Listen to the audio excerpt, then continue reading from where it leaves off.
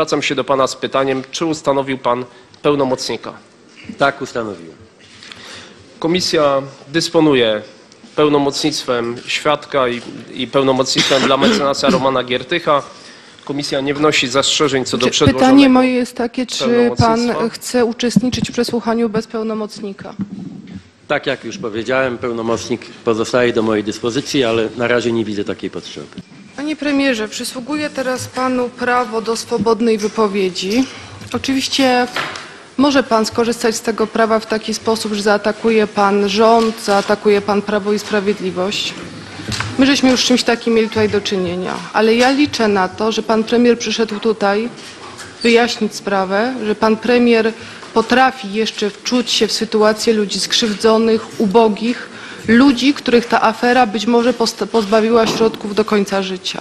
Oddaję panu głos. Skoro pani poseł już wygłosiła swoiste oświadczenie, to ja rezygnuję z tego uprawnienia. Dziękuję. Czy pan premier wie, kto zgodnie z przepisami w okresie lata, bo raz takie lata interesują 2009-2012, nadzorował w Polsce służby specjalne? O tym decydują konkretne przepisy, w tym przepisy ustawowe. Jest to rola premiera cedowana, y, tak jak w moim przypadku, na koordynatora do spraw służb specjalnych, ale oczywiście polityczny nadzór nad, mm, ustawowy nadzór nad służbami specjalnymi y, wypełnia premier. Czy e, przepisy zezwalają na to, aby premier ściągnął z siebie tą odpowiedzialność, jeżeli nie ustanawia ministra koordynatora? Nie mam poczucia ściągania z siebie, że już zacytuję panią poseł, jakiejkolwiek odpowiedzialności. Czy w ówczesnym okresie czasu, wobec faktu, że nie było ministra koordynatora, pan w pełni e, nadzorował służby specjalne w Polsce? Y, Stan prawny w tych latach opisują szczegółowo dokumenty i przepisy. Ja- Ja przepisy znam, to panu pomogę. Na przykład pierwszy z rzędu ustawa Agencji Bezpieczeństwa Wewnętrznego, artykuł trzeci, ustęp drugi. Szef ABW i szef AW podlegają bezpośrednio prezesowi Rady Ministrów. Czy pan premier wie w okresie, kiedy był premierem, kto nadzorował Komisję Nadzoru Finansowego?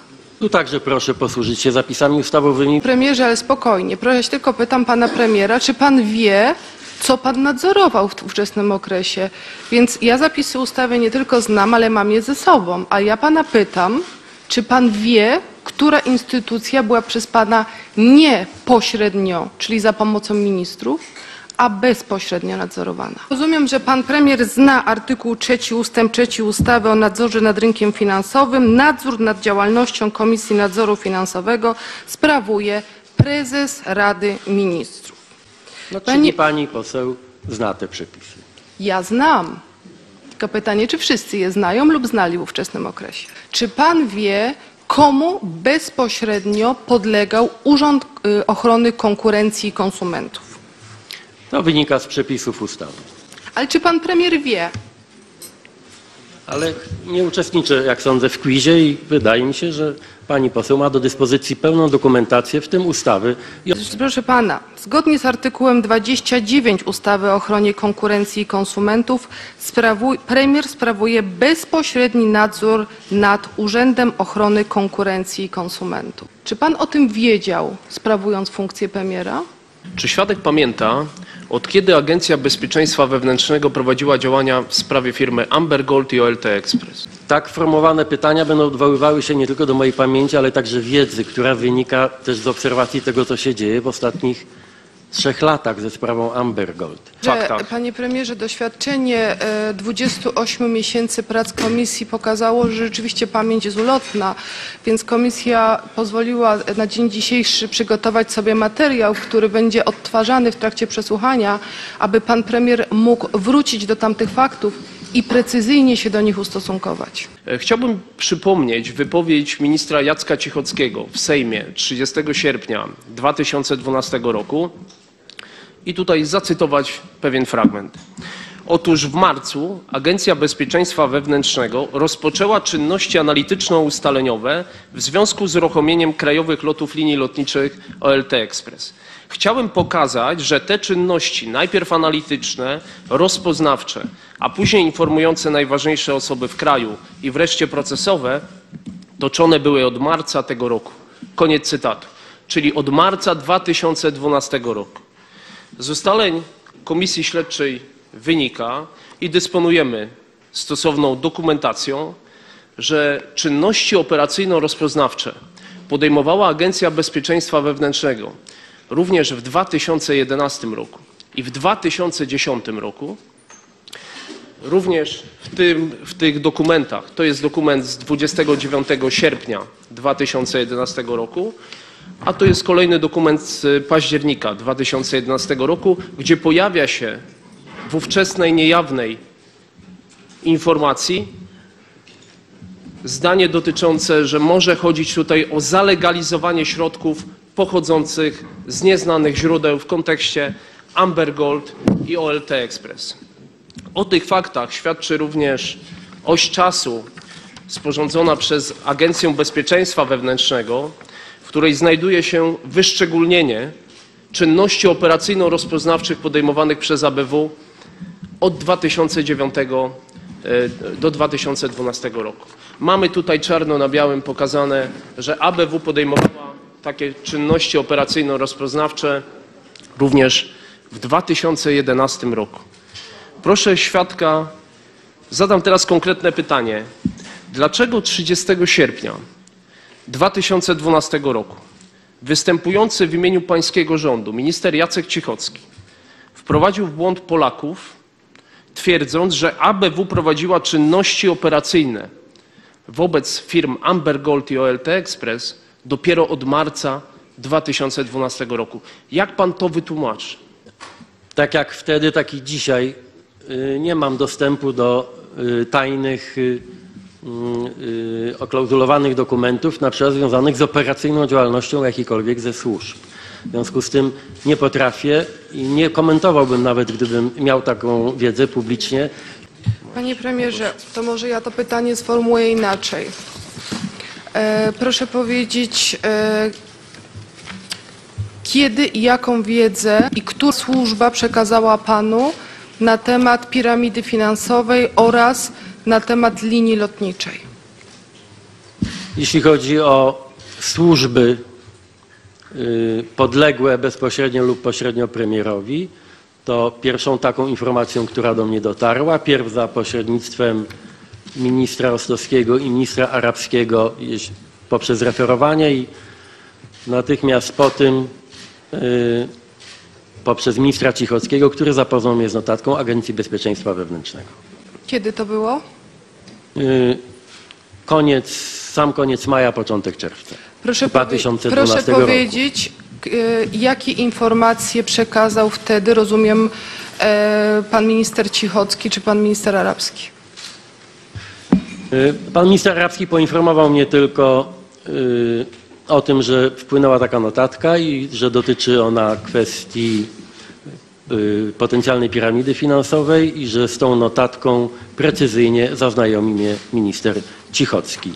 Poinformował mnie także, że nie, nie, z notatki nie wynika potrzeba jakichś natychmiastowych działań ze strony premiera.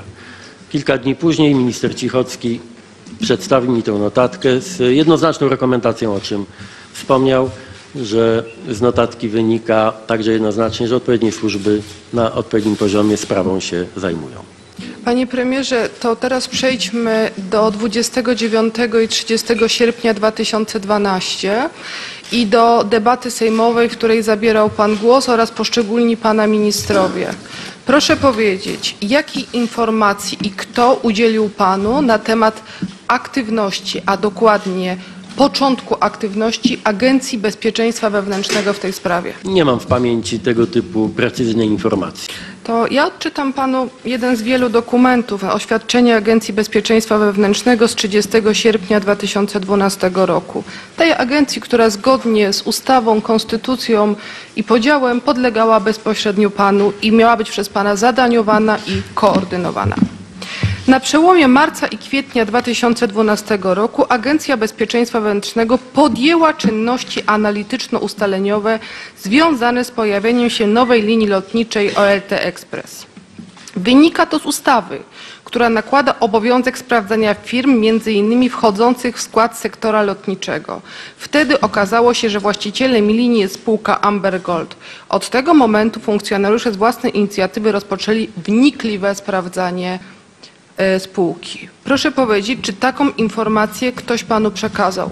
Do mm, sierpnia 2012 roku, czyli do czasu, kiedy sprawa stała się już publiczna w pełnym wymiarze, łącznie z informacjami ministrów w Sejmie i mm, także kontrolami, to do tego czasu wydaje mi się, ale jestem prawie pewien, jedyną y, informacją, taką no, dokumentem, jaki do mnie wpłynął, była informacja ze strony ABW Ale ja pana pytam, kiedy pan albo sam zapytał pana generała Bondaryka, albo pan generał Bondaryk panu powiedział, od kiedy ABW ma wiedzę w tej sprawie?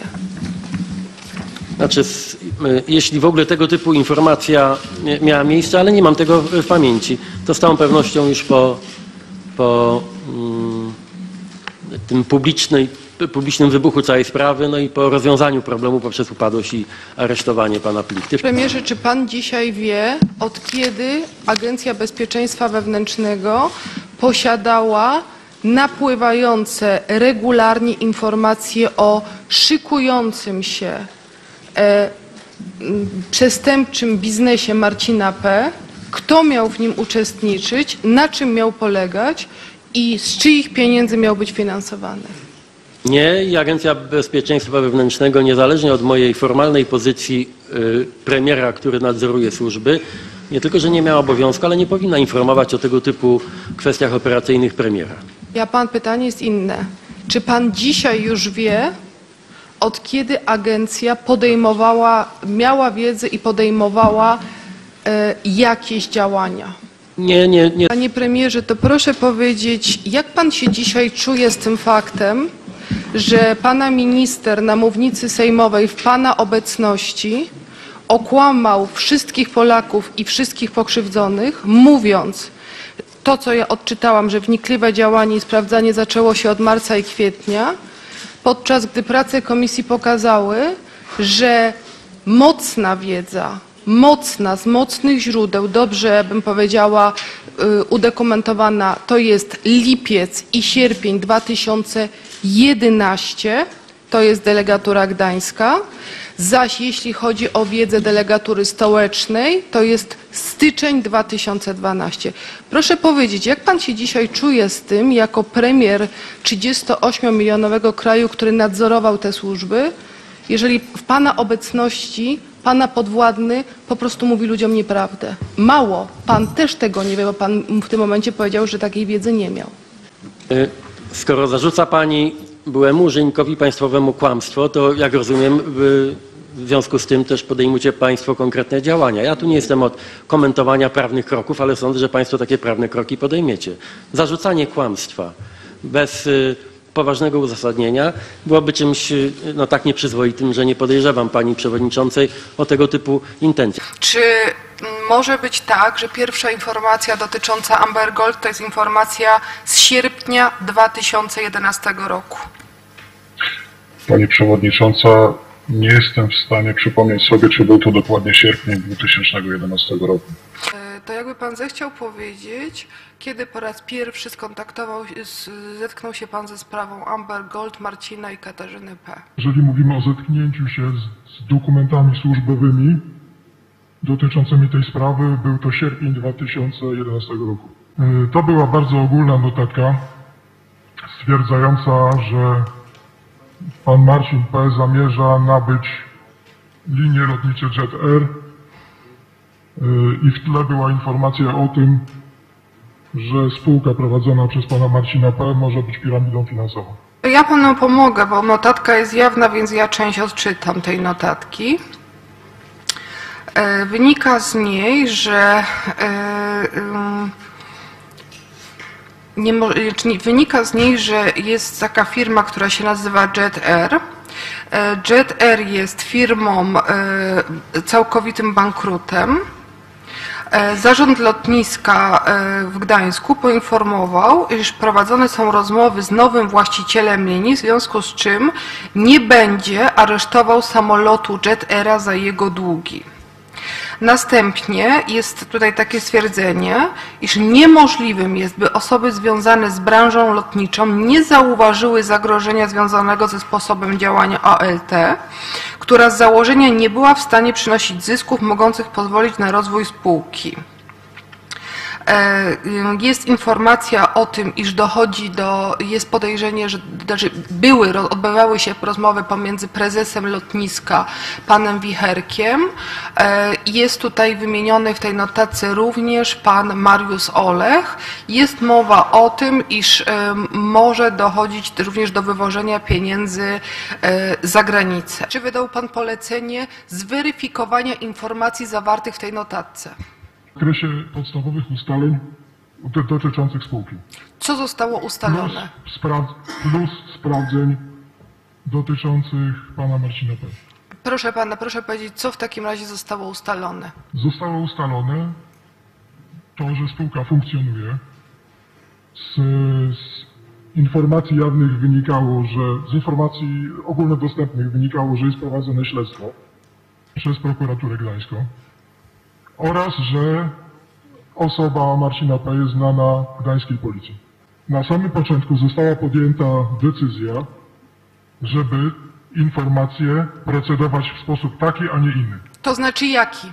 To znaczy w ramach procedury, która obejmowała gromadzenie informacji. Proszę pana, już panu wymieniłam trzy czynności, które wykonaliście państwo do maja 2012, czyli do momentu wszczęcia sprawy operacyjnej Eldorado. Czyli przypominam, sprawdzenie w bazie, urząd skarbowy i oczywiście jeszcze jest kwestia zarejestrowania kwestionariusza, w którym nie ma nic. I teraz pytanie moje jest takie, czy taki sposób procedowania, jak pan to określa, czyli nie robienie nic z tą sprawą, to było polecenie panu wydane, wydane przez kogoś z pańskich przełożonych? Pani Przewodnicząca, nie robienie nic to jest duża nadinterpretacja. To proszę powiedzieć, co było zrobione do maja 2012 z tymi informacjami. Wymieniła Pani główne czynności, które wówczas zostały wykonane, natomiast nie zgadzam się, że to oznacza kompletnie nic. W takim razie, co w ramach e, ustaleń udało Wam się do maja, czyli do wszczęcia sprawy Eldorado, ustalić? Pani Przewodnicząca, wszystko jest w dokumentach i nie pamiętam szczegółów. Tam nie ma nic, dlatego Pana pytam. Większość, większość, większość Pani już wymieniła. I to było na sier- wrzesień, e, październik, listopad, grudzień, styczeń, luty, marzec, kwiecień, maj. To jest dziewięć miesięcy działalności. Pan chce powiedzieć o tym, że ustaliliście tylko tyle, że nie płaci podatków, przeczytaliście gazety? Ja Panu powiem, skoro Pan tego nie wie. To w ramach postępowania sprawdzającego odnośnie zachowania Agencji Bezpieczeństwa Wewnętrznego zrobiono wytyk, że Agencja Bezpieczeństwa Wewnętrznego miała tą wiedzę, o której powiedziałam, od sierpnia 2011 i nie zrobiła z tą wiedzą nic, aby uchronić Polaków przed stratą pieniędzy. I informuję pana, że na to poszła odpowiedź, że Agencja Bezpieczeństwa Wewnętrznego nic nie zrobiła, bo przecież w tym czasie zajmowała się tym Komenda Wojewódzka Policji, prowadząc sprawę operacyjną. Czy w związku z czym dotarła taka informacja do Pana, czy nie, w ramach tłumaczenia, kto zawalił i kto komu wszedł w kompetencje? Pani y, Przewodnicząca, y, rozumiem, że mówimy o sytuacji, w której prokuratura rejonowa... W ogóle nie ma tu prokuratury. Mówimy tylko o służbach. Jest pytanie o datę, którą pan podał i ta data jest nieprawdziwa. Wie pan dlaczego? Dlatego, że po pierwsze robiły różne delegatury, a jeżeli nawet miał pan na myśli marzec i ja mogę się domyśleć, że pan miał na myśli delegaturę stołeczną, to problem polegał na tym, że udokumentowaną wiedzę ma od stycznia. Czyli skąd się panu ten marzec wziął, jak on nie pasuje ani do 10 roku, ani do 11 roku, gdzie delegatura gdańska rozpoczęła działania, ani do 12 roku, gdzie rozpoczęła delegatura stołeczna i centrala, bo to był styczeń. Na jakiej podstawie pan udzielił informacji Wysokiej Izbie, że ABW rozpoczęła działania od marca? Informację, którą udzielałem w styczniu 2012 roku, udzielałem na podstawie materiałów, informacji przekazanych od służb w dobrej wierze, w, na, w takim zakresie, w jakim wtedy tą informacją e, dysponowałem i tyle, ile mogłem powiedzieć w trybie jawnym. Rozumiem, że świadek dysponował wiedzą od generała Bondaryka, że od marca rozpoczęły się czynności analityczno-informacyjne ABW w sprawie grupy Amber Gold. Jeżeli sobie dobrze przypominam, mm, tylko już teraz nie pamiętam, czy przed tym posiedzeniem Sejmu, czy później, ale agencja nawet wydała w tej sprawie stosowny komunikat. Na jakiej podstawie minister koordynator w sierpniu 2012 roku podczas posiedzenia Sejmu udzielał Wysokiej Izbie, a za pomocą Wysokiej Izbie całemu społeczeństwu informacji, że agencja e, zajmuje się sprawą OLT od marca 2012, jak bez wątpienia Pierwsze działania były w sierpniu 2011 roku, choć przyznam, że nie było się czym pochwalić, skoro z tymi informacjami nic nie zrobiono. Po pierwsze, jeśli chodzi o informację ministra mm, Cichockiego w Sejmie, w 2012 roku Agencja Bezpieczeństwa Wewnętrznego przygotowała na potrzeby i koordynatora i komisji y, do spraw służb specjalnych kalendarium działań ABW w tej sprawie. Kalendarium jest jawne i pewnie w dyspozycji komisji. Przygotowując to kalendarium, uznałem, że moje działania w marcu i kwietniu rozpoczęły faktyczną działalność ABW w tej sprawie, bo szef agencji przesądził o zajęciu się tą sprawą. Proszę pana, tylko dlaczego udzielono, wpro- wprowadzono posłów i opinię publiczną w błąd? W tym kalendarium jest informacja, iż Agencja Bezpieczeństwa Wewnętrznego weszła w posiadanie i zaczęła działania w marcu 2012. A to jest po prostu nieprawda. To nie jest, pra- to nie jest, to nie agencja- jest prawda. Co Agencja mówi. Nie, to, co pani mówi, jest nieprawdą. Proszę pana, to znaczy kwestionuje pan fakt, że w Gdańsku w 2011 roku doszło do sporządzenia notatek i pozyskania pierwszych informacji wyprzedzających, że taka linia powstanie, wejdzie na, linek, na rynek w celu przestępczym, że może służyć jeden z tych samolotów do wyprowadzania pieniędzy. Kwestionuje pan fakt, że po tej informacji funkcjonariusz zwrócił się do Urzędu Skarbowego, z którego uzyskał informację, że ten podmiot i cała grupa spółek od dwóch lat w żaden sposób nie rozlicza się z Urzędem Skarbowym. Czy kwestionuje pan fakt, że w 2011 roku Agencja Bezpieczeństwa Wewnętrznego wiedziała, że ten człowiek jest wielokrotnie karany? Czy kwestionuje pan fakt, że w tych notatkach i informacjach, które w 2011 roku miała agencja, była informacja, że ta, ta Amber Gold jest na czarnej liście nadzoru finansowego i prowadzi wedle KNF-u działalność parabankową z naruszeniem prawa. Czy kwestionuje pan tą wiedzę w 2011 roku w Agencji Bezpieczeństwa Wewnętrznego? Kwestionuję informację, że to jest wiedza. Proszę powiedzieć, czy pana nie zdziwiło, dlaczego 11 miesięcy dają panu do zrozumienia, żeby pan nie był za aktywny, a nagle w tym samym dniu, w którym pan napisał raport, przyszedł naczelnik i powiedział, proszę pisać raport o wszczęcie sprawy operacyjnej? Jest to troszeczkę dziwne, aczkolwiek e, jakie Pytam, były czy w tym motywy... samym dniu, w którym pan napisał raport o wszczęciu sprawy operacyjnej, przednaczelnik powiedział, pan pisze raport o wszczęciu sprawy operacyjnej. Tak, dostałem konkretne polecenie sporządzenia raportu na wszczęcie sprawy operacyjnej. Czy pan zadał pytanie, a dlaczego teraz szefia 11 miesięcy w ogóle to pana nie obchodziło? Mm, Takiej informacji nie uzyskałem. Panie premierze, mm, pan w swoim expose w 2007 roku powiedział tak. Ja jako premier będę wyznaczał służbom zadania i rozliczał z efektywności tak, aby były one sprawnym narzędziem zapewniania bezpieczeństwa Polaków. Powiedział pan również takie zdanie. Memu rządowi dedykuję ze szczególną determinacją, że zagwarantuje skuteczną, jak najlepszą ochronę prywatnej własności naszych obywateli. Panie premierze, proszę powiedzieć w takim razie, jak pan ocenia swój nadzór, choćby w zakresie tego, że służby specjalne działały, a w zasadzie miały pełną wiedzę 9 miesięcy wcześniej i nic z tym nie zrobiły. Tu już muszę powiedzieć bardzo wyraźnie, że mija się pani z prawdą, pani poseł. Otóż sformułowanie, że w sprawie Amber Gold służby państwowe niczego nie robiły, jest nieprawdziwe. Z gruntu, od początku do końca. I państwo o tym wiecie, ponieważ także wasza praca jako komisji udokumentowała to w sposób jednoznaczny. Ja nie będę państwa y, nakłaniał, pewnie nie wyrazicie zgody, do tego, abyśmy odczytywali setki stron y, zeznań świadków, w tym szefów różnych instytucji, którzy bardzo precyzyjnie Państwu wyjaśniali, jakie, jakiego typu działania zostały podjęte. Według, moim, według mojego zdania Marcin P. był słupem, jednak e, chcę też stwierdzić, bardzo mi przykro, że do tej pory ABW i prokuraturze nie udało się tego wykazać w postaci materiału dowodowego. Czy pana dalej pan nie rozumie, na czym polega nadzór nad służbami?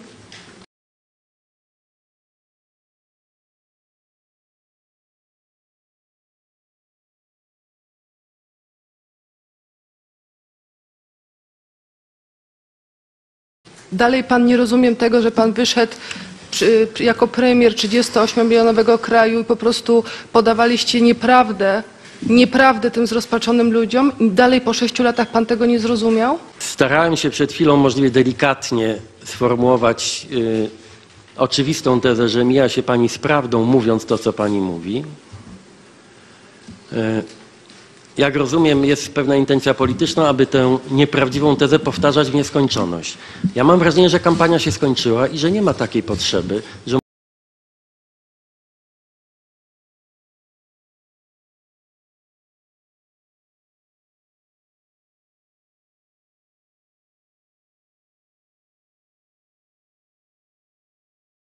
fragment, w którym pan minister Cichocki, jeden z najbardziej wychwalanych i zaufanych premierów pana premiera Donalda Tuska, mówił to, co, o czym ja przed chwilą powiedziałam. Ja przypomnę pani przewodniczącej, To ja że we może wrześniu Ale przedstawicieli, przekazać- przedstawicieli, Panu nikt nie udzielił głosu, ja przepraszam. Pan. Brejza, Przepraszam, przepraszam bardzo, panie pośle Brejza. Panie pośle Brejza, jeżeli pan e, czymś, świadek TUS czego będzie potrzebował pełnomocnika lub obrońcy, to skorzysta z Romana Giertycha i nie potrzebuje członka mi komisji. wykluczeniem wtedy z komisji. Okazało się, że, że próbowaliście wtedy pomówić ministra Cichockiego.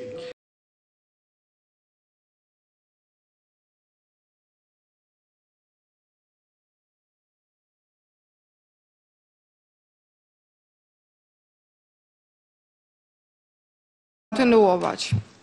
Odczytuję, ale chciałem pokazać, że te czynności, najpierw analityczne, rozpoznawcze, a później informujące najważniejsze osoby w kraju i wreszcie procesowe, toczone były od marca tego roku. To było w Pana obecności. Którą notatkę Panu pokazać, że wiedza była pełna od lipca i sierpnia 2011 w ABW przez Pana nadzorowanym? Wydaje mi się, że właściwe byłoby, gdyby Pani poseł przeczytała dłuższy fragment poprzedzający te zdania. To kalendarium, ten punkt będzie, jak rozumiem, rozpatrywany na, na, na kolejnym posiedzeniu i to będzie także okazja do tego, żeby bardziej szczegółowo porozmawiać o działaniach Agencji Bezpieczeństwa Wewnętrznego i odpowiedzieć na różne kwestie, no jednak niejawne, dotyczące także zainteresowań operacyjnych takim zakresie, w jakim szef ABW może udzielić tej informacji. Ja natomiast także odwołując się do tego kalendarium, które jest materiałem jawnym, chciałbym e, wskazać Państwu na pewne tylko fakty, że otóż w marcu e, Agencja Bezpieczeństwa Wewnętrznego e, rozpoczęła czynności analityczne ustaleniowe w związku z uruchomieniem krajowych lotów linii lotniczych OLT Express, czyli na kilka tygodni przed tym, kiedy te linie zaczęły latać, bo jak Państwo pamiętacie, pierwsze loty zaczęły się 1 kwietnia tego roku, ale chciałem pokazać, że te czynności najpierw analityczne, rozpoznawcze, a później informujące najważniejsze osoby w kraju i wreszcie procesowe toczone były od marca tego roku i zaczęły się od analizy związanej ze spółką OLT, wtedy, kiedy miała się ona pojawić, znaczy jej samoloty miały się pojawić na polskim, y, na polskim niebie. Chodzi mi o sposób interpretowania pewnych y, y, zdań i wypowiedzi. Wydaje się, że minister Cichocki z najlepszą wolą i najlepszą wiedzą poinformował o tym, od kiedy Agencja Bezpieczeństwa Wewnętrznego zajmowała się konkretnie problemem OLT. Tak chciałbym, żeby też zdrowy rozsądek towarzyszył interpretacjom pewnych zdarzeń. Premierze, m, warto pora zrozumieć, że data i czynność to nie jest ocena i interpretacja, to jest fakt.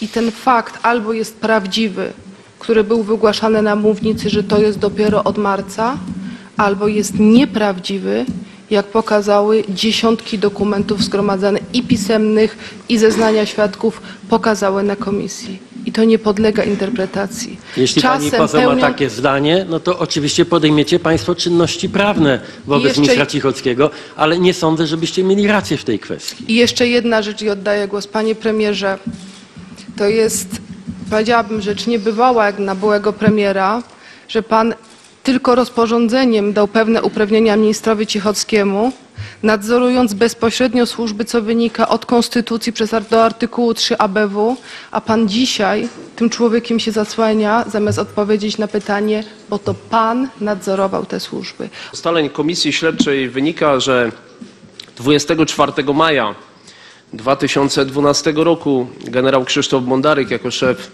Agencji Bezpieczeństwa Wewnętrznego przekazał do sześciu najważniejszych osób w państwie, w tym do pana, poufną notatkę, w której znajduje się informacja, że działalność Amber Gold oparta jest na mech- mechanizmie tak zwanej piramidy finansowej.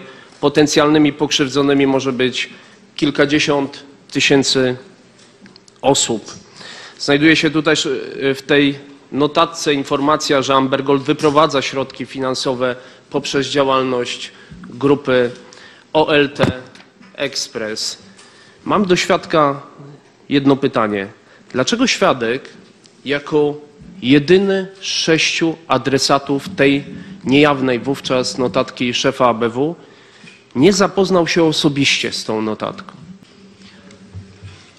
Zaznajomiłem się z treścią tej notatki i nie będę y, w tej chwili mm, rekonstruował sekunda po sekundzie samego, samej tej operacji, ale w sposób czytelny, jednoznaczny od ministra Cichockiego, odpowiedzialnego w moim rządzie za te kwestie, otrzymałem pe- pełną informację. Po pierwsze o tym, co zawiera ta notatka i po drugie o tym, że z tej notatki, z jego wiedzy wynika, że odpowiednie służby państwowe sprawą się zajmują. Czyli rozumiem, że potwierdza e, świadek fakt, że zreferowano świadkowi treść tej notatki i dokonali tego ministrowie arabskiej i cichockiej, ale świadek osobiście z całą treścią tej poufnej informacji szefa ABW nigdy się nie zapoznał, tak? Nie potwierdzam tego i niepotrzebnie pan poseł to y, y, sugeruje. A dla, na jakiej podstawie stwierdziłem? Otóż komisja śledcza dysponuje dokumentami, w której znajduje się, i tutaj zacytuję fragment, z analizy urządzeń ewidencyjnych prowadzonych w kancelarii tajnej KPRM wynika, że dokument nie został doręczony do rąk własnych prezesa Rady Ministrów Donalda, pana Donalda Tuska za pośrednictwem kancelarii tajnej Kancelarii Prezesa Rady Ministrów. Z pełnej dokumentacji wynika, że z tą notatką zapoznały się bezpośrednio wszystkie, po, wszyscy pozostali adresaci. Nigdzie nie ma, ponieważ był to dokument niejawny, śladu o tym, że pan jako prezes Rady Ministrów zapoznał się z pełną treścią tej notatki. I teraz chciałbym e, przytoczyć fragment wystąpienia pana w Sejmie 30 sierpnia 2012 roku. Proszę o przedstawienie fragmentu wystąpienia pana Donalda Tuska e, w Sejmie 30 sierpnia. Otóż pan twierdził, oczywiście zadaniowanie ABW miałoby sens wtedy, gdyby nie to, że w tej notatce pojawiła się też jednoznaczna informacja, że ABW w tej sprawie zadaniuje się sama. Czy potwierdza świadek przytoczoną wypowiedź? Tutaj świadek też ma wyświetloną, żeby mógł zapoznać się z tymi słowami. Czy świadek potwierdza? Nie pamiętam, ale Nie pamięta mam zaufanie. No nie sądzę, żebyście Państwo Pytanie posunęli się do takie. manipulacji. Nie, to Czy w tej sprawie Agencja Bezpieczeństwa Wewnętrznego zadaniowała się sama? Z całą pewnością działania opisane, opisane w notatce wynikały nie z mojego polecenia. Ja otrzymam informację o tym, co y, jest efektem aktywności y, ABW, która wówczas odebrała informacje i je jakby przetworzyła i przekazała. Y, Ja rozumiem, w jaką stronę może zmierzać to pytanie. Mówię o zdefiniowaniu słowa zadaniowanie. Zadaniem premiera, ktokolwiek tym premierem jest, nie jest y, zadaniowanie ABW w taki sposób, jak to Państwo kilka razy w czasie przesłuchań staraliście się przedstawić. Znaczy premier nie może, nie powinien w żaden sposób ingerować w działalność operacyjną ABW. Y, Zadaniowanie, i to jest opisane nie tylko przepisami prawa, ale też oczywistą praktyką, dotyczy ogólnych, zasadniczych kierunków działania służb. Jeśli chodzi konkretnie o tę notatkę, jest rzeczą oczywistą i chyba nikt nie czuje się jakoś zaskoczony tym cytatem, że ta notatka nie, wynik, nie, nie, nie była wynikiem mojego nakazu, żeby coś w tej sprawie się stało, tylko była informacją o działaniu ABW, jakie ta podjęła w związku z pewnymi zdarzeniami i faktami. Nie wynikało to z moich bezpośrednich poleceń. Nie mogło. To chciałbym przytoczyć zeznania świadka Jacka Cichockiego, byłego ministra w pana rządzie. E, Proszę o przypomnienie zeznań świadka Jacka Cichockiego. Ja pytałem pana ministra, kto zadaniuje Agencję Bezpieczeństwa Wewnętrznego. Świadek Jacek Cichocki, premier. Ponownie pytałem, premier, jest pan pewny? Świadek Jacek Cichocki, oczywiście. Jak wyjaśni świadek zatem sprzeczność, że z jednej strony świadek twierdził w Sejmie, że ABW w tej sprawie zadaniowała się sama, wbrew temu, co twierdzi minister Cichocki, że to premier zadaniuje ABW? Tę sprawę już wyjaśniłem i wydaje się, że ona jest oczywista dla Woli ścisłości jedynie w tej informacji z 24 maja 2012 roku nie było tam ani jednego zdania, że ABW zadaniuje się sama, ponieważ myślę, że trzeba byłoby znaleźć podstawę prawną do tego, że to nie premier zadaniuje ABW, a ABW zadaniuje się e, sama. Kontekst wypowiedzi Mam jeszcze- wskazuje, ale ja nie- że nie zadałem pytania, że proszę świadka. Myślę, A ja że myślałem, dla- że pan jest zadawania Zaraz pytań, zadam pytanie. E, bo Chciałbym... musielibyśmy ustalić reguły gry. Czy Jarku, pan komisja się zadaje bardzo pytania, denerwuje, czy... spokojnie. Ja rozumiem. Ja spokojnie zadam pytanie. Nie mam powodu. Czy wy- raz powtórzę, myślę, że dość proste i zrozumiałe pytanie. Czy świadek w sprawie Amber Gold wydawał wiążące wytyczne szefowi Agencji Bezpieczeństwa Wewnętrznego? Nie. Czy po uzyskaniu informacji od ministra Tomasza Arabskiego 28 maja 2012 roku o zastrzeżeniach ABW, że firma Amber Gold to piramida finansowa, podjął świadek bezpośrednie działania w celu koordynacji pracy służb specjalnych w sprawie Amber Gold. O jakim czasie pan mówi?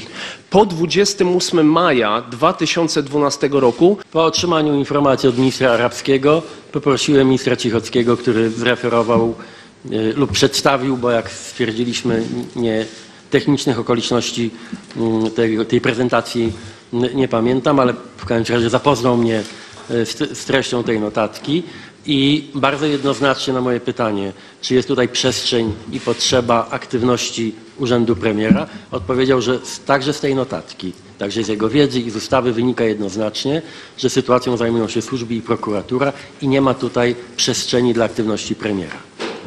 I pan to rozumiem już nie pogłębiał do końca, trzymał się tego, że premier nie ma tutaj nic do zrobienia, tak? Bardzo wyraźnie trzymałem się zasady jako premier.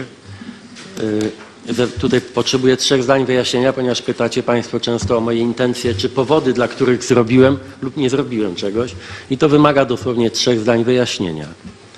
Myślę, że pani poseł będzie y, tutaj najbardziej wykwalifikowaną y, osobą, żeby, żeby przyjąć te wyjaśnienia.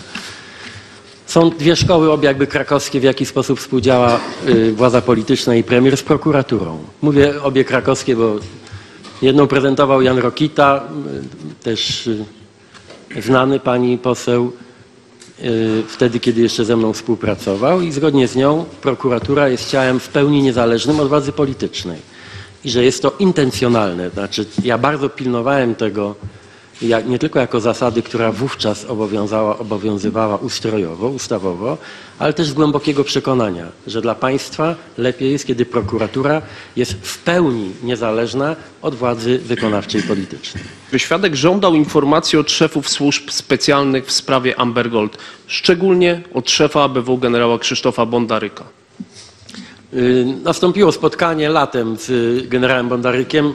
Nie, nie jestem pewien, czy to był lipiec czy sierpnia, ale na pewno już po, po, mm, y, po y, mm, no, tych działaniach, które zakończyły de facto działalność y, Amber Gold. I to było spotkanie w jakimś sensie post factum, ale ono także nie polegało na tym, że ja mm, sugerowałem generowi Bondarykowi, co ma robić ABW, ale Takiego się wydarzyło, że w sprawie Amber Gold nie wykonywał pan ustawowych obowiązków premiera wobec ABW, polegających na żądaniu informacji od szefów służb specjalnych oraz wskazywaniu wiążących wytycznych dla służb specjalnych. Rozumiem, że jeśli mówimy o sprawie Amber Gold, to jedyne żądanie informacji od szefa ABW to było to jedno spotkanie z generałem Bondarykiem. Tak informacje... też wynika z dokumentacji zgromadzonej przez komisję. Informacje od Agencji Bezpieczeństwa Wewnętrznego jako premier otrzymałem. Ale Nie czy było- żądał pan informacji? nie Ja przepraszam, że przerywam, ale czy żądał świadek informacji? Otrzymałem informacje od Agencji Bezpieczeństwa Wewnętrznego i y, jest chyba dość oczywistym także dla Państwa, że mm, y, założenie, że jeśli ABW postanowiło mnie poinformować, nie tylko mnie, ale także pozostałe mm, y, kluczowe mm, postaci życia politycznego o tej sprawie, no to poinformowały o tym, o czym wiedzą. że pan przed chwilą wygłosił taką mowę na temat modelu mm, takiego, czy państwo jest silne i bierze odpowiedzialność za swoje działania, czy też takiego modelu, gdzie premier nie, nic nie wie i w nic się nie wtrąca. Ale w związku z powyższym miałam do pana takie pytanie, czy kiedy pan powiedział prawdę, czy dzisiaj przedstawiając ten model, czy w expose, kiedy powiedział pan, że jako premier będzie wyznaczał, zadaniował i rozliczał służby z efektywności, aby one były sprawnym narzędziem zapewnienia bezpieczeństwa państwa. To jest bardzo spójny przekaz. Znaczy jedno i drugie stwierdzenie jest, y, y, są spójne ze sobą i mm, powiedziałbym nawet więcej. Ja mam przekonanie i to przekonanie mogę mm, także obudować faktami i mm, diagnozami sytuacji nie tylko w Polsce, że model, y, o którym ja mówię, który ja preferuję, a więc model niezależnej wobec władzy politycznej prokuratury, per saldo jest bardziej efektywny niż model, y, który pani określiła taką y, dość słodką de- definicją, że państwo bierze na siebie pełną odpowiedzialność. Gdyby tak było, pani poseł, że te dwa modele, bo wydaje mi się, że to jest Ale istotne. pytanie było, kiedy pan prawdę mówił. Y, Ja staram się nie tylko w życiu publicznym mówić prawdę i wyłącznie prawdę. I, wy, I to mi wychodzi. Znamy sprawę z ostatnich kilkunastu miesięcy y, getbacku. Gdyby przyjąć waszą logikę, Do rzeczy, panie premierze. gdyby jestem teraz wyjątkowo do rzeczy, szczególnie do rzeczy. Gdyby przyjąć logikę, jaką państwo stosujecie w sprawie Amber Gold, to muszę powiedzieć, że zgodnie z tą logiką i zgodnie ze sprawą getbacku, gdzie mówimy o wielokrotnie większych nadużyciach i wyłudzeniach i także wielu tysiącach poszkodowanych, to panowie Morawieccy, premier i jego ojciec, według waszej logiki powinni być przesłuchani, skazani i spaleni na stosie. E, Panie premierze, i taka jedna uwaga. My wszyscy wiemy o tym, że to był czas, kiedy była e, prokuratura rozdzielona od ministra sprawiedliwości. Zresztą nawet panu powiem więcej. Wszyscy wiemy z taśm usowej, jak pan minister Sienkiewicz mówił, że sami żeście mówili, że to potworek i tragedia. Ale nie o to chodzi. My nie pytamy pana w ogóle o działania prokuratury, zdając sobie z tego sprawę. Ale jeśli pan nie wie, chociaż ja mam taką nadzieję, że chociaż po sześciu latach pan to wie, że służby specjalne działają albo uprawnieniach operacyjnych, albo na zlecenie prokuratury w uprawnieniach śledczych. I my w ogóle pana premiera nie pytamy o to, co robiła prokuratura i na jej zlecenie służby. My pytamy pana jako szefa, jako osobę nadzorującą zgodnie z przepisami, jako osobę koordynującą i zadaniującą służby, jaka, jak zachowywały się służby, które pan bezpośrednio nadzorował w ramach swej istoty. Powiem panu jeszcze jedną rzecz, chyba myślę, że jest dla nas oczywista, ale mogę też odczytać, jeśli by tak nie było. W samym komunikacie Agencji Bezpieczeństwa Wewnętrznego, które odczytywałam, jest takie zdanie wprost, że sektor lotniczy podlega bieżącemu monitoringowi służb specjalnych. I to jest naturalne w dużym europejskim kraju. I my o to pytamy, nie o prokuraturę. Czy pan... Czy, czy to było pytanie? Nie, no bo ja- przepraszam, ja dopiero zadam. Czy pani po- Nie, nie, nie. ja zadam pytanie. Czy pani po... Ale ja nie wiem, może tak, nie Ja czy tylko się świadkowi chciałem my zorientować, przeszkadzamy jako zadający pytanie, czy... Ale ja chciałbym zadać odpowiedzieć pytanie. na pytanie pani poseł Ja zadam przewodniczącej. pytanie i wtedy proszę do pytania się ustosunkować. Mam nadzieję, że pamięć też na to pozwoli. Ja tylko chciałbym Czy- odpowiedzieć na pytania No, pani poseł przewodniczącej. Chyba, że to nie były pytania, to chciałbym się zorientować, ponieważ pracujemy wszyscy w trybie określonym w kodeksie postępowania karnego. W jakim charakterze pani poseł przewodnicząca zabiera głos? Czy zadaje pytanie świadkowi, czy W wygłasza oświadczenie? charakterze przewodniczącej oddaję głos panu posłowi Krajewskiemu Dziękuję i proszę bardzo. się nie denerwować. Czy na świadku ciążył obowiązek koordynacji pracy służb specjalnych? Chciałbym jeszcze raz y, zorientować się, w jakim trybie y, Państwo się wypowiadają.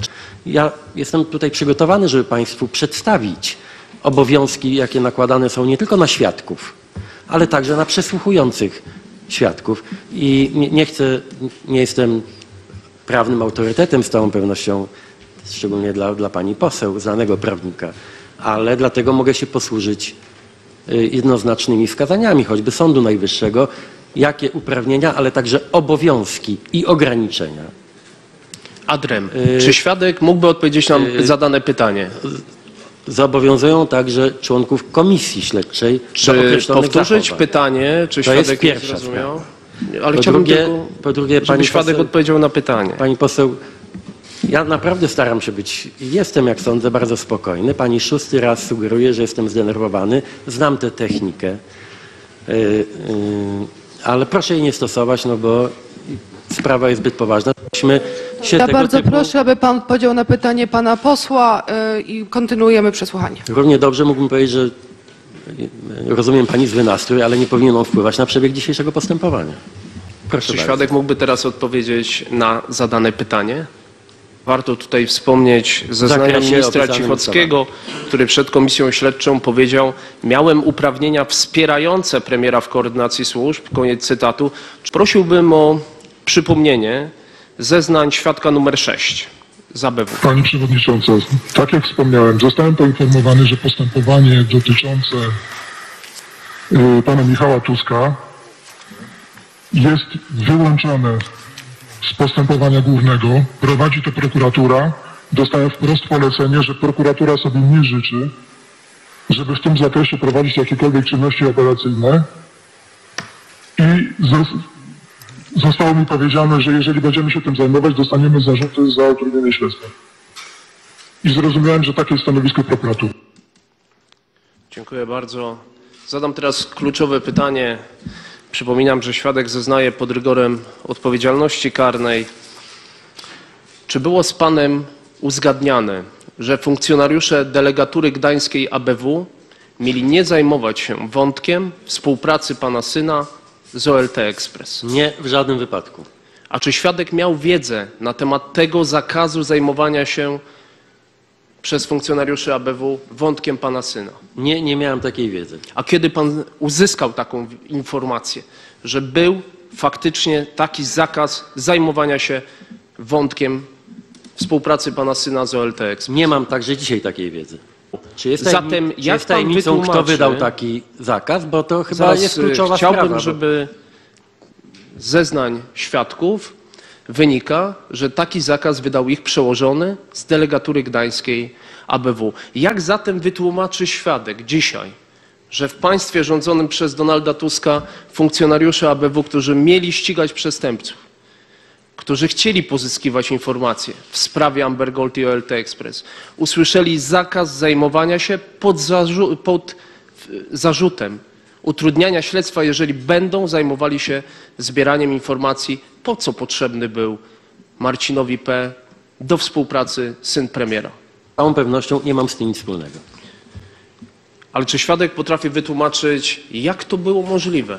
Pośle, ale mogę posłużyć się tutaj najzwyczajniej w świecie też y, uczciwą i zdrową logiką. Mój syn był zawsze do dyspozycji organów państwa w tej sprawie, w tym prokuratury.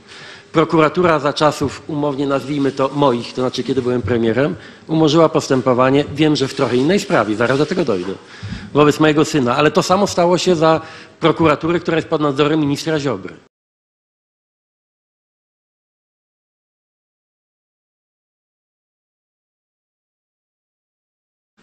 Mój syn także miał procesy sądowe, jak Państwo wiecie, które wygrywał, które, y, przeciwko tym, którzy insynuowali jakąś winę czy przewinę mojego syna. I y, te, także procesy sądowe y, wygrywał.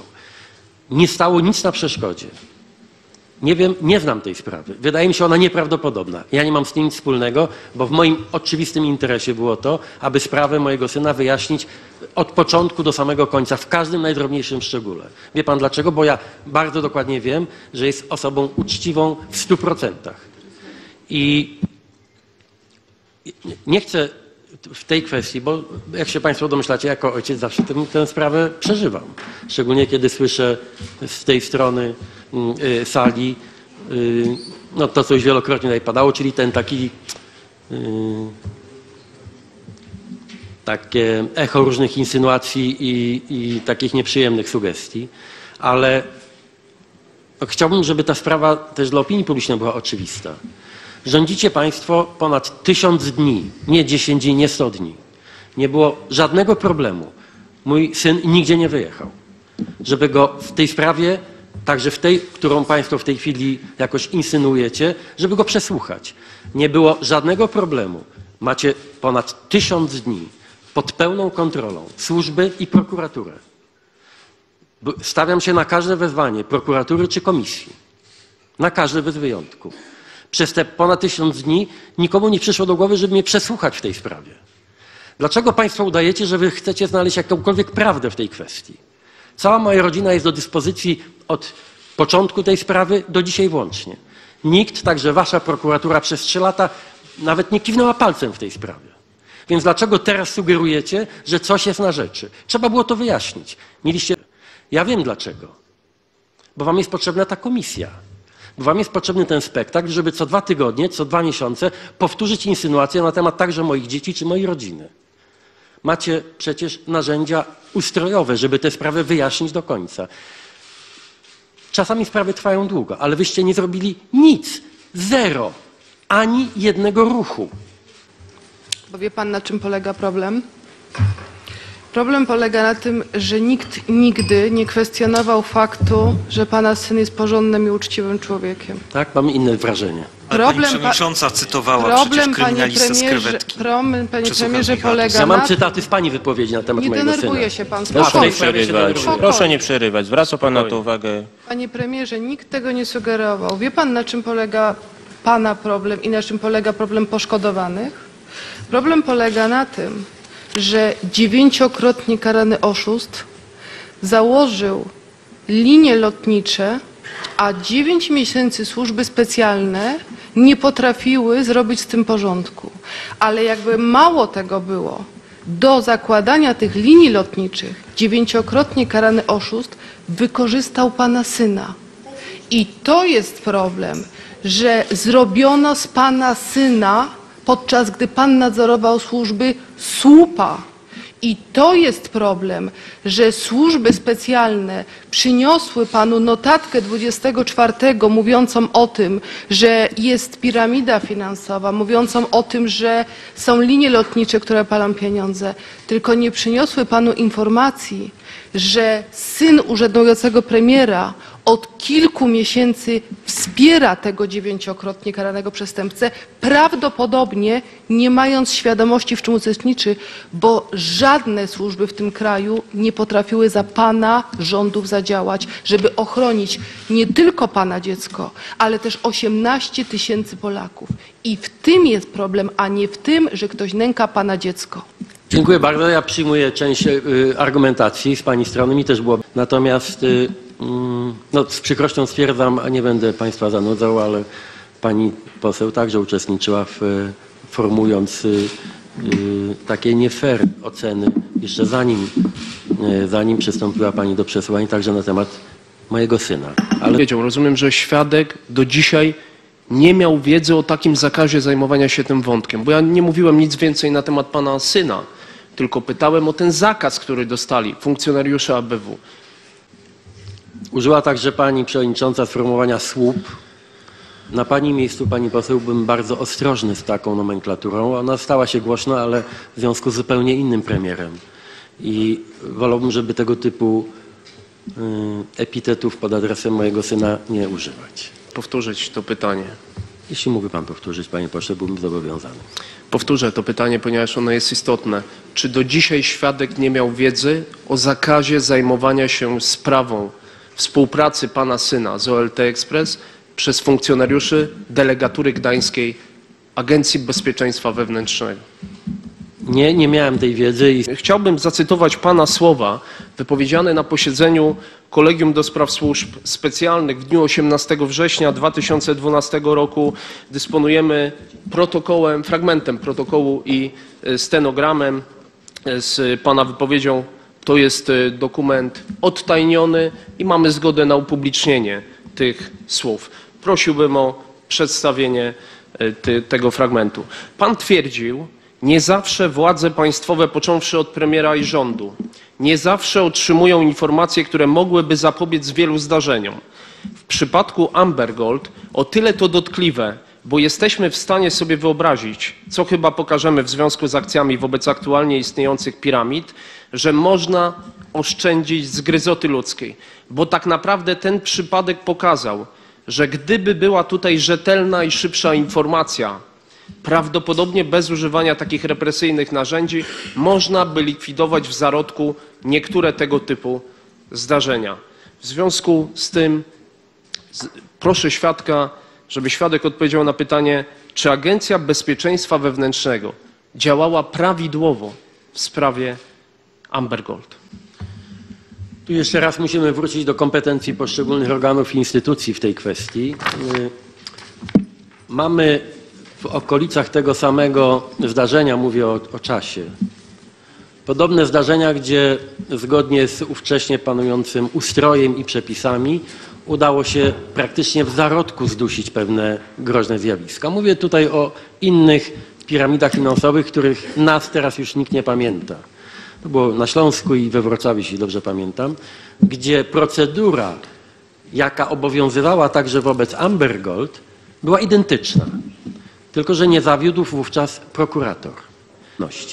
W przypadku Amber Gold jest oczywiste, że gdyby poszczególne ogniwa tej procedury, która jest opisana w przepisach i o której minister Jakubiak mówił bardzo precyzyjnie, gdyby one zadziałały tak, jak powinny, to prawdopodobnie udałoby się uniknąć no, lwiej części strat, jakie ludzie ponieśli w związku z inwestowaniem w Amber Gold.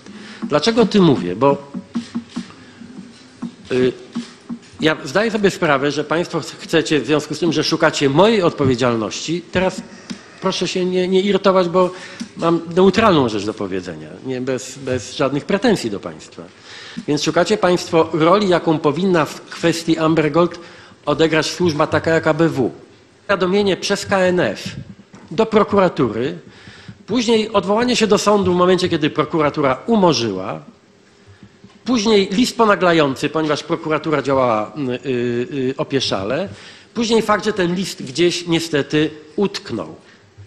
I, ja, I jak dobrze Państwo wiecie, wiem, że to Was bardzo boli, ci prokuratorzy, którzy ewidentnie za to odpowiadają i ci, którzy jakoś praktycznie w ogóle nie są obiektem państwa zainteresowania, awansowali teraz u pana ministra Ziobry.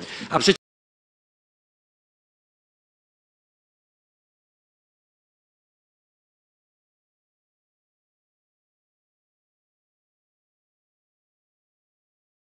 y, czy Agencja Bezpieczeństwa Wewnętrznego działała prawidłowo w sprawie Amber Gold? Takie było konkretne pytanie, nie usłyszałem odpowiedzi.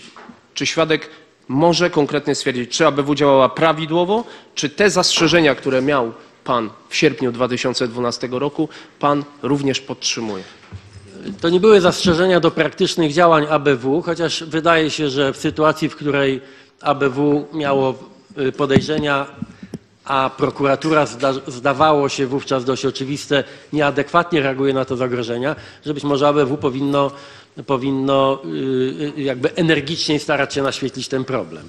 Ale szczerze powiedziawszy, ten problem wzięła na siebie, działając niezwykle energicznie, Komisja mm, Nadzoru Finansowego.